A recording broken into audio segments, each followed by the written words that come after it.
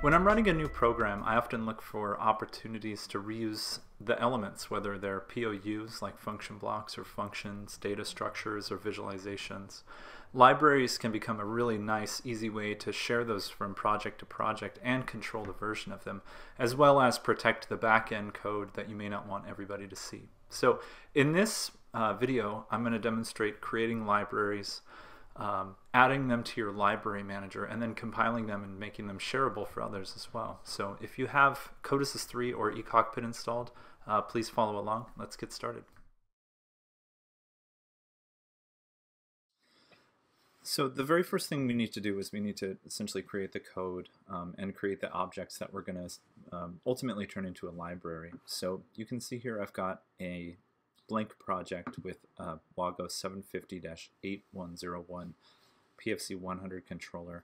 Uh, all I've done is scan this into the program. I have nothing in my PLC PRG. This is a fresh project. So what I'm going to do is I'm going to import some pre-built um, objects into my project. So I'm going to go to File, Import, uh, Import Export, and I'm going to import this .export file that I created uh, previous now when this opens up, um, I'm just going to uh, add this to my application and I'm going to select all. So I'll close this. I will move back to the editor and I'm going to collapse all these so we can talk about them one by one. Um, this is all stuff you would have in a normal project for the most part. Um, let's start with the POU. So I created a function block, and this function block is essentially taking a raw thermocouple input signal and it's converting it to this um, data type that I created, which is a type thermocouple, which we can then look at now. You'll see this contains a raw value, a temperature C, and a temperature F. All these values will be coming from that function block. Next, I've got a visualization. And this visualization is just, um, it's really a placeholder. Um, this is expecting a an instance of the function block. So we're going to point the function block, the instance of the function block, to this visualization when we implement it. Um, then I've got some internal workings, so I put these in a folder called um, internal. And these are some data types, uh, some images for the documentation and whatnot um, that I just want to live in the background and I don't want um, I don't necessarily want them to be a main part of the, the library. I have some standalone images that I use also for the documentation and then there's some library information uh, that is actually generated by the, the, project. So I've got each one of these.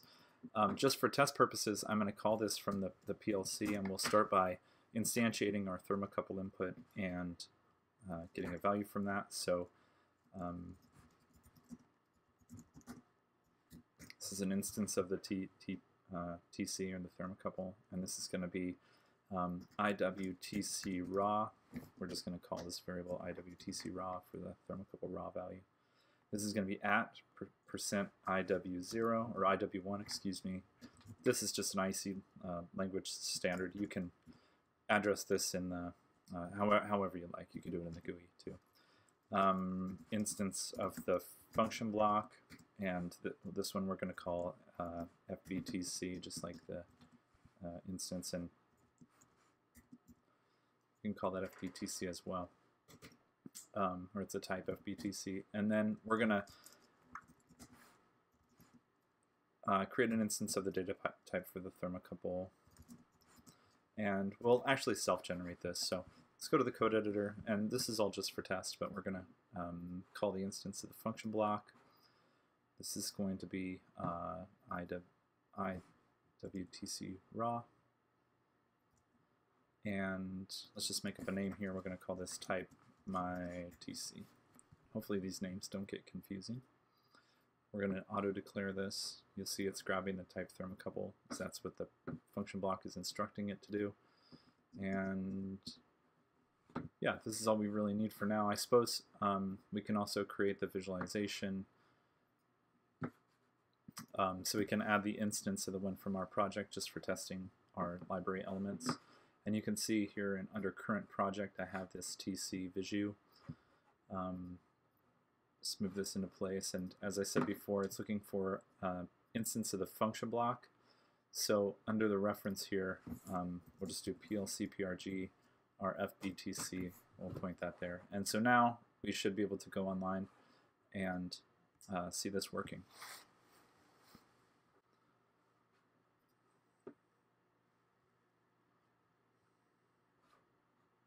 Okay, so there we go. There's our thermocouple value. You can see it's changing in the raw.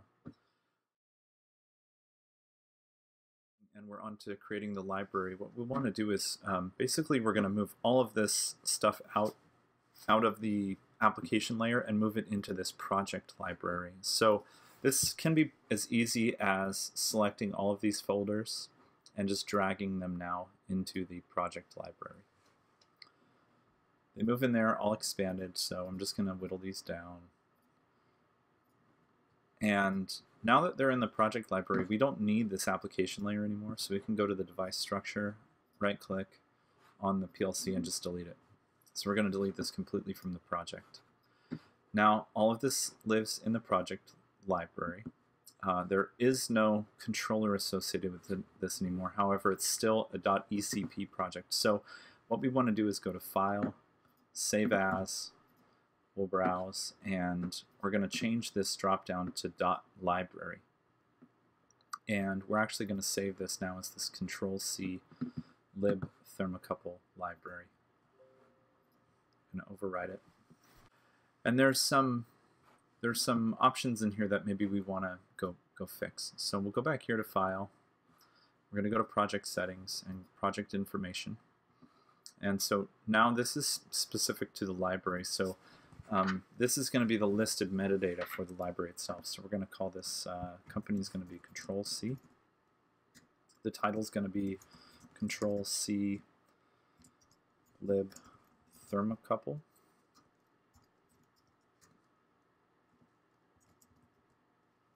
The version is going to be, we're just going to call this 1.0.0.0. Uh, the library categories, we could mess with this. This is, all has to do with a .xml um, structure, but we're going to leave this default so far. Under default namespaces, we're going to call this also control C lib thermocouple. The author, uh, that's me and the description. So we're going to say library to convert raw TC values. Keep it simple for now. Now, there's another step we want to we want to take. What we want to do here under key is put doc format. We're going to leave this text, and the value is going to be restructured text.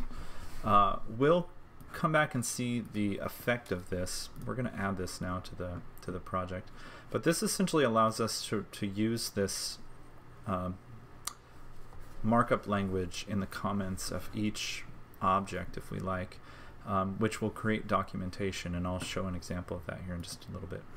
Okay, we'll click OK. We're going to save this again and go back to the project. So uh, now we've got our documentation, we've got POUs, types, etc. Um, now we're going to want to compile this and save, but I already know we're going to get a, a, syntax error when I check this because we moved it out of the standard library side. So you see how it says cannot convert uh, unknown type mid. It's because we're missing a library. Um, so we're going to go now to the library manager and I'm just going to make sure I add this standard library this is going to um, happen automatically now if, if your project doesn't already contain the standard library. It's going to add that as a dependency. So we're going to add this standard library. And now if I do a syntax check, it should be just fine. So now we have it. We have a, a saved uh, .library file, uncompiled library, and we're ready to go on to the next step where we actually create the uh, library object. I'm going to show this. I'm going to go to my POUs. I'm going to go to my FBTC, and just kind of step through the comments. So you'll see the comments follow this kind of, um, uh, yeah, strange looking format. This is part of the restructured text uh, markup language that we referenced earlier. So you can see here I'm heading this up with a uh, an image. Uh, it's got some alignment stuff similar to other markup languages. I've got a version in here, etc. So um, you'll see the outcome of this when I'm done. There's a really good reference document if you just if you just Google um, restructured text Codesys um, and follow the prompts. It takes you to this library development summary, and you can go to the markup specification and study this. But there's some really good um, material in here, and you'll see the the the effect of this when when it's all done. But essentially documentation is built in the comments and um, there's some good reference material which I'll link in this video as well. In the last steps we created the code, we converted this now to a .library file. Now it's time to, to save this and add it to our library repository. So we have these three buttons here. We already did the syntax check. We know we're good. So now we're going to compile this and save. And I'm going to do this now to the desktop, and I'm going to call this uh, Control C lib thermocouple. This is going to be a compiled library. So now it's actually going through the syntax checks again. It's uh, compiling this down to executables and it's saving it now to my desktop as a version or as a, a file type compiled library. So if we look now, we should be able to see this. Um, we have the, uh, the library here, and one of these is actually going to be the compiled library. There we are, right there. So if we go back to the project, um, now we've got this button here It says Save to Library Repository. So this is actually going to just automatically load it into the repository. If you wanted to share it with somebody, you could move that uh, .compiled library file to uh, um, any other project and import it to the library manager. It's now ready to go. So there we have it. Now we have uh, library saved into the repository. If we look here, we should see it. There it is. So next we're going to move on to using this in a new project with another controller. So for the final part of this, we're just going to test this in a new project. I've got a 750-8102 controller here. Um, I've added the I.O. module, but I haven't added any, any program. We're going to go now to the program structure, and we're going to go to the library manager, and we're going to find the library that we just created. So I'm going to right-click, Add Library, go to Miscellaneous, and I'm going to add the Control-C lib thermocouple. And once this is loaded, um, we can see the documentation piece that we created. So if I expand the POUs, I go to the FBTC, I can click on documentation and you can see it's now got our images in here, it's got our, our version that we created, the date, etc. Um, the control C lib thermocouple name, and then you know all of the attributes that we created in the in the comments uh, markup language. So now we can test this by going to our project. Um, gonna, just like we did in, when we tested this before we created the library. Um, we're going to create the instance of the thermocouple this is going to be uh, IWTC raw at percent IW1. And this is going to be integer percent IW1. There we go. Uh, instance of the uh, function block BTC. It's going to look a little different because it's going to reference the library now. So we're just going to use the input assistant, open the library, the POUs, and select this. So this is Control C lib thermocouple.fb uh, TC and instance of the uh, DT for thermocouple. And create all this the same way we did before. Instance call, our function block, tc raw, we're going to create this uh, type my PC just like we did before. Create the object type, again, this is going to header this or prefix it with the library name. And so that's good to go. And now we're just going to add a visualization. Okay.